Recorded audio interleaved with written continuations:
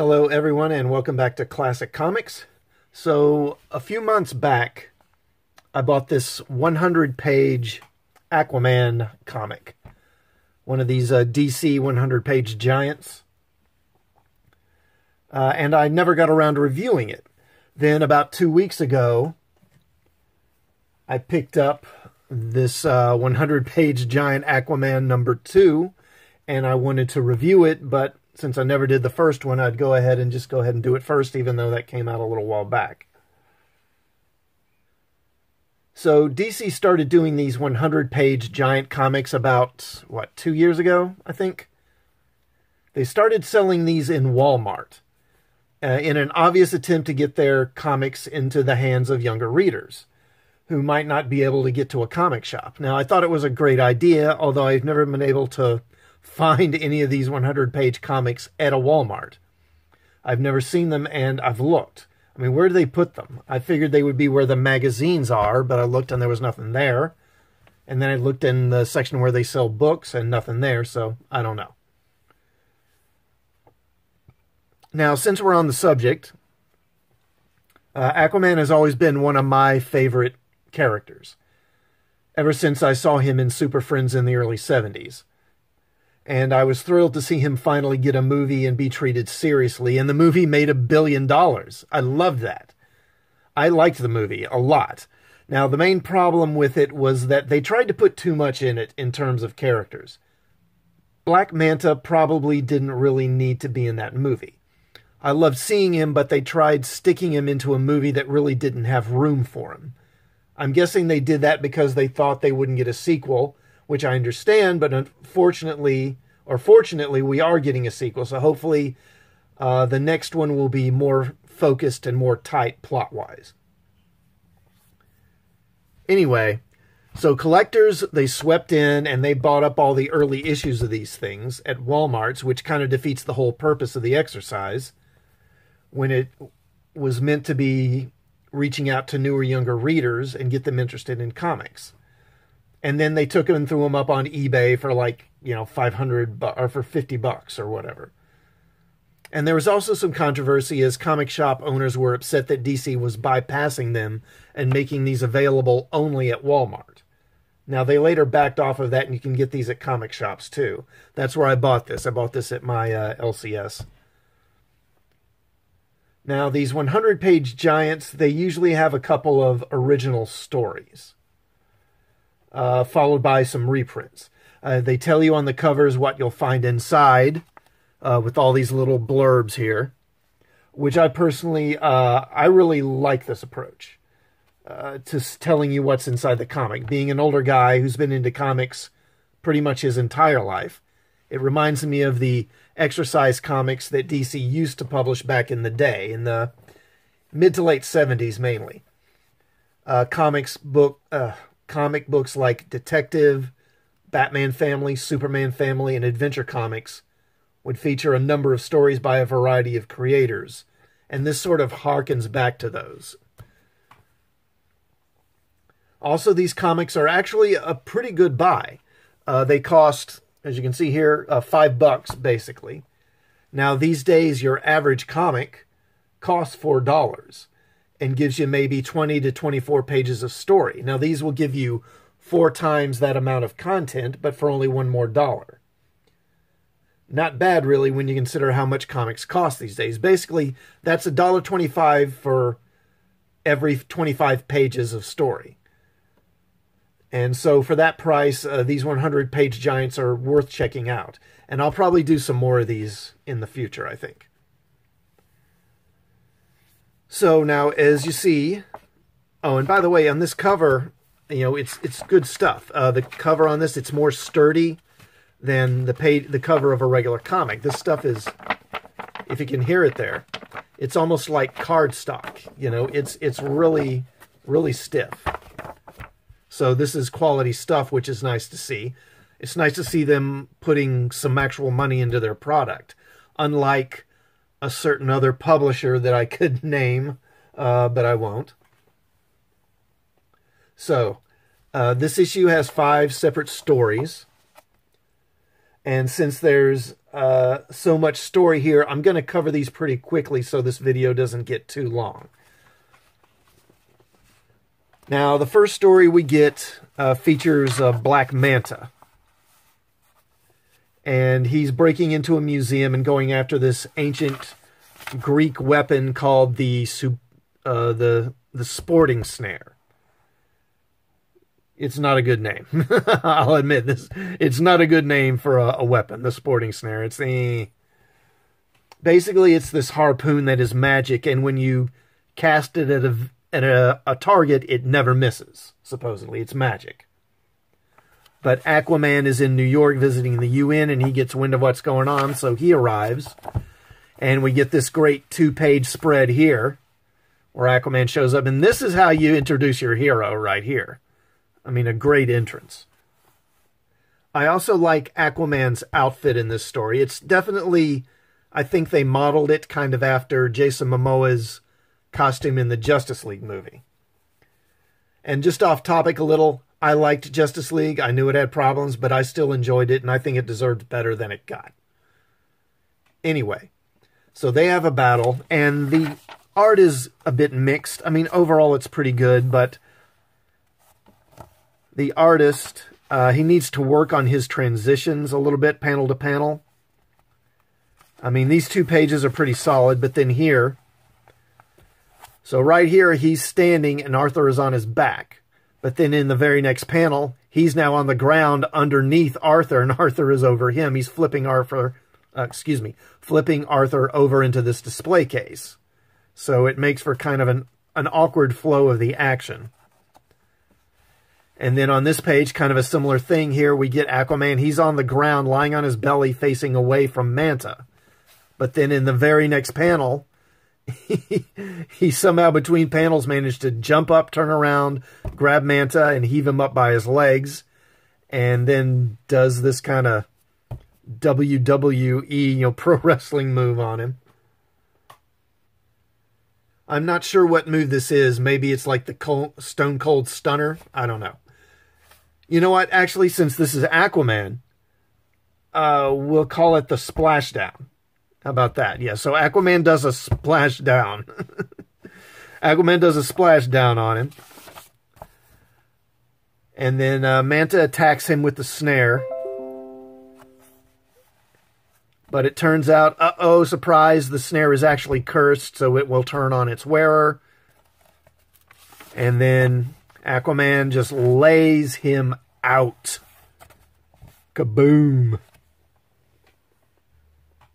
So the story is short. It's only 16 pages, but it's pretty solid. The story is by, uh, as you see here, by Steve Orlando. And then uh, the art is by uh, Daniel Sampere. I, I, think that's how you say it, with inks by Juan Albarrán. And, you know, and overall it's pretty good. Uh, the action, like I say, is pretty good, except for a couple of awkward kind of transitions there. Uh, Sampere is better, I think, with the kind of big splash pages, you know, and pin-up moments, that sort of thing, uh, than he is with you know, storytelling with having the story flow well from one panel to the next.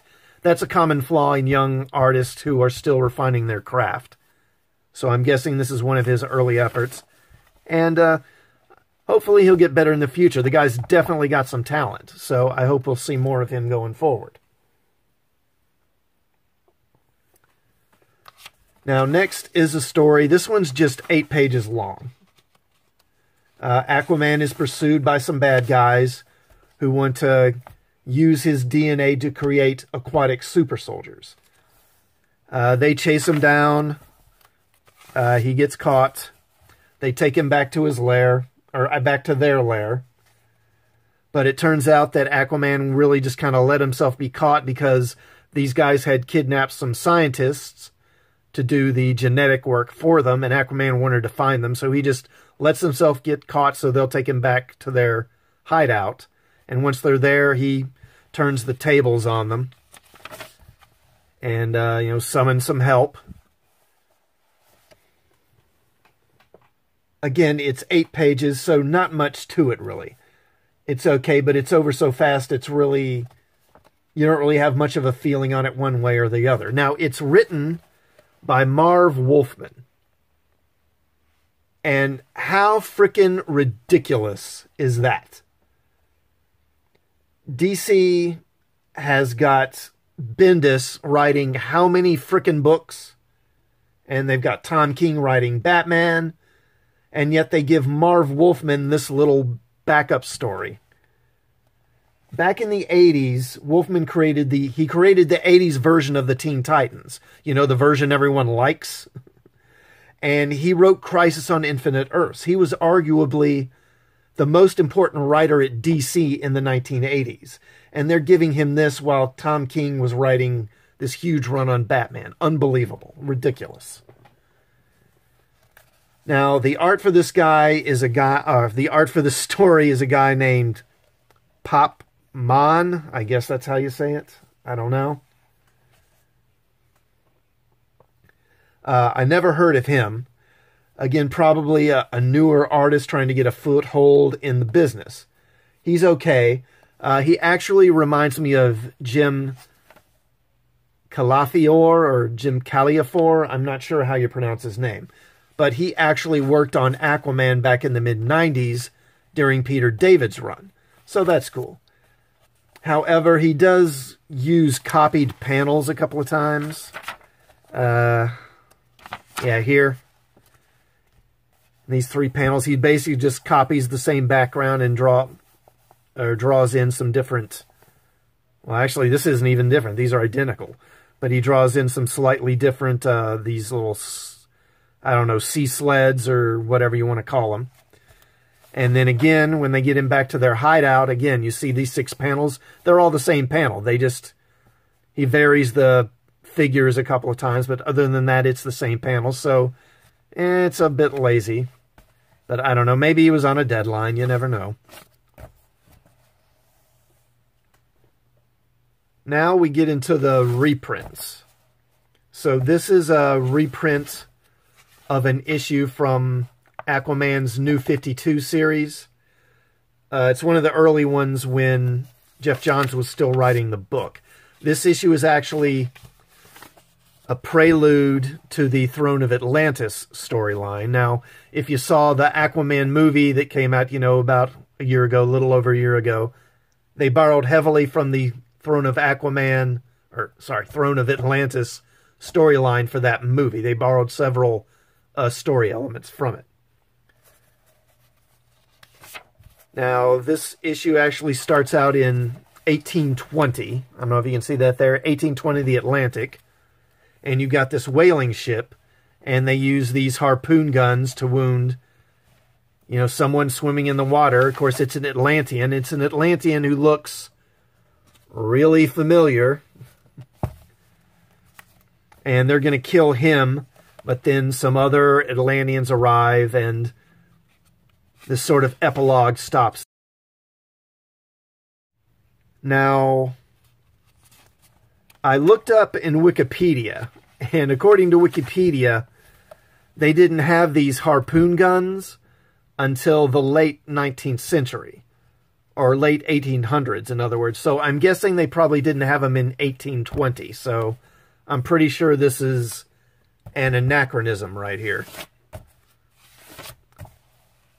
Now, then we go to Atlantis, and Ocean Master, who's kind of in the shadows here, he, he sees these fish confront him, and he realizes this is a message from Aquaman who wants to meet with him.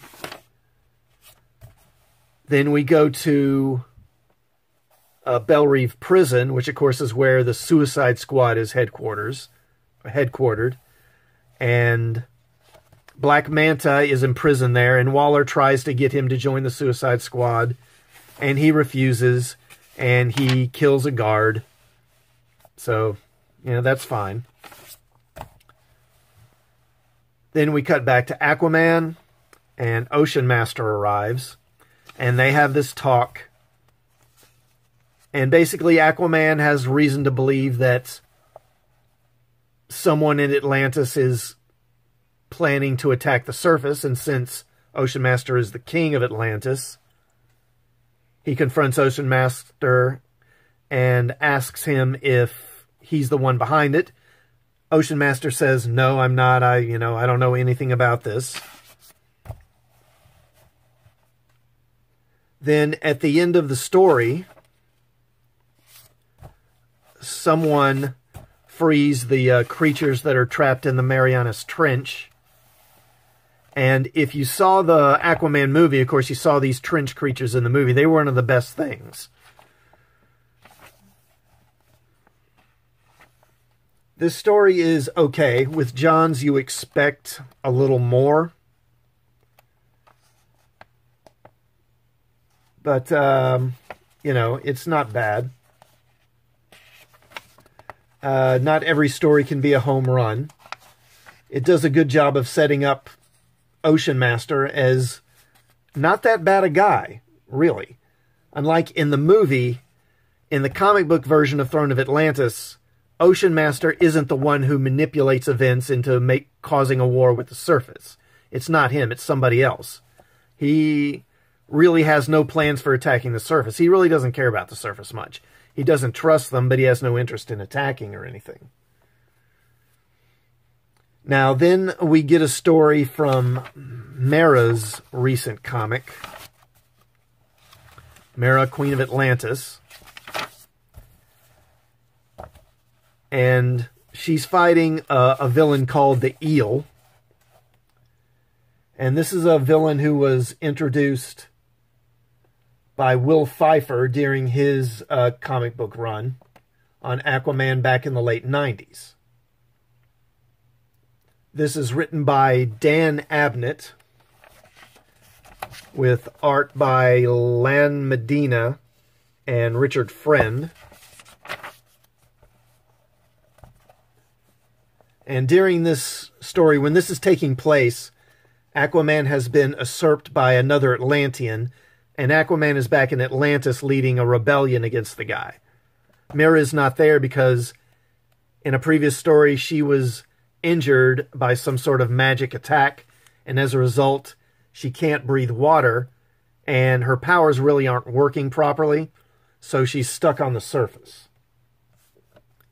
She does manage to defeat him, though.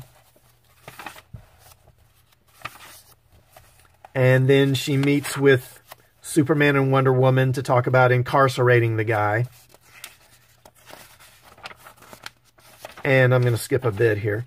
And then she has a meeting with the Secretary of State where they discuss what's going on in Atlantis. And then the story ends with this uh, we go to Ocean Master. Now, at this point, Ocean Master is actually up on the surface. He's actually uh, been living with a human woman. Uh, she's a single mother uh, for I guess several weeks now, and he's actually kind of fallen for her and wants to stay with them, but he knows about what's happening in, Atlantis, and so he knows he he has to leave. He has to go back to Atlantis, but he doesn't want to, so he's kind of torn by it.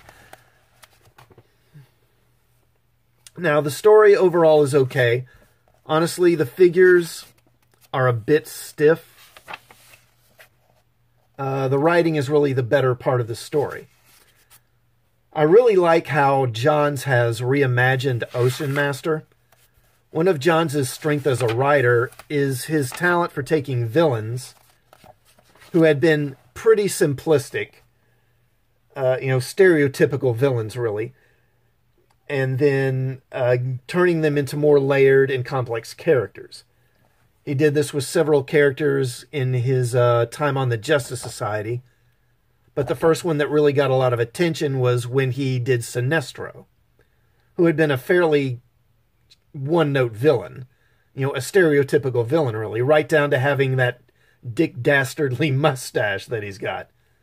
But Johns reinvented him, making much more interesting as a villain. His intentions or his goals are actually not that bad but he's a the ends justify the means person, which means he winds up committing a lot of villainous acts in the process. Now, I remember Stan Lee once said that the best villains are guys who could have been great heroes, but You know, some event happened, something happened that just turned them onto a bad path instead. Johns really takes that approach with his villains and does great work on them most of the time. Ocean Master is another good example of this. In his previous versions, before the New 52, Ocean Master was a, a fairly standard bad guy.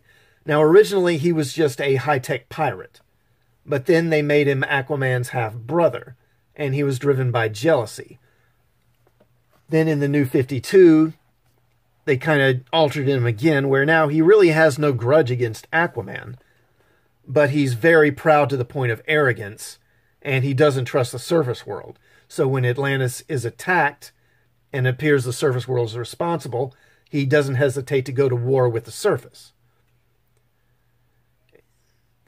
And again, we learn that he's kind of fallen in love with this woman that he's been staying with, and he doesn't want to uh, leave them and go back to Atlantis.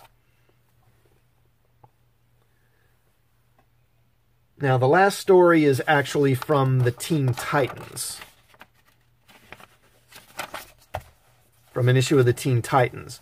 Now, it's in here because the story basically reintroduces uh, Jackson Hyde, who was the kind of the new 52 version of Aqualad. Uh, I guess he had kind of been dropped after the rebirth, kind of quasi reboot. So they're reintroducing him in this story. Now, the writing is by uh, Benjamin Percy, actually. And if you follow uh, any of my uh, videos on X Force, my reviews of X Force, Percy's writing that book. And I think that's actually the best book in this current Marvel relaunch. It's actually a pretty solid book. And I recommend it. It's the only one I really recommend. The writing is solid, but the art by Khoi Pham, I think is his name, it's kind of eh, it's it's not great. So Jackson feels like uh, he doesn't belong. You know, he feels very out of place. Partly it's because of his powers, but also partly because uh, he's gay, actually.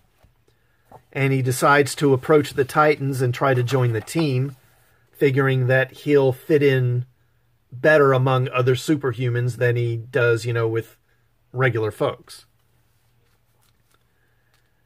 Uh, so he travels to meet them, and then the Titans, they bring this reporter in and give her a tour of their headquarters. But then she disappears, and they go looking for her. And I'm going to skip a little bit here. And they actually wind up finding King Shark, who attacks them. And that's where it ends.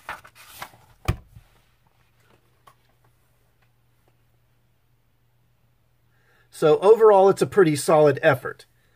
Out of five stories, we had three good ones and two that are just, you know, kind of so-so. But again, you're paying a dollar twenty-five for each story, basically. So overall, it's a good value. I recommend picking this up if you can still find it. Now, I'll be doing 100-page Aquaman Giant number two, uh, probably in my next video, so I hope you'll be checking that video out. But first, uh, what about this issue? Uh, have any of you read this yourself? If you did, uh, what did you think? Did you like it? Did you hate it? Uh, do you agree that these 100 page comics are a good idea? Let me know in the comments. And also, while you're at it, please uh, like this video and please uh, subscribe to the channel on your way out and hit the bell for notifications of more videos. And I'll see you all next time. Thanks for watching.